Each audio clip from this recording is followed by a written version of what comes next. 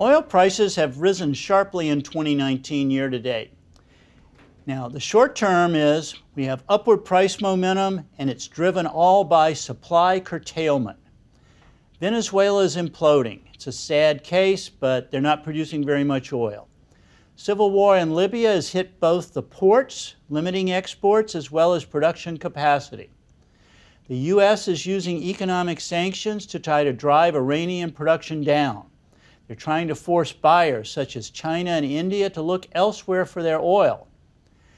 Saudi Arabia and Russia have curtailed production to lift prices, and they also stand to benefit from the U.S. economic war on Iran since China and India may buy some oil from the Saudis and the Russians. Now that's the short run. The long run paints a very different picture. Russia may start expanding production again soon. They need the money, they could use the money, they got plans for the money, they're going to start expanding production. More oil will also be forthcoming from the United States. But don't rush.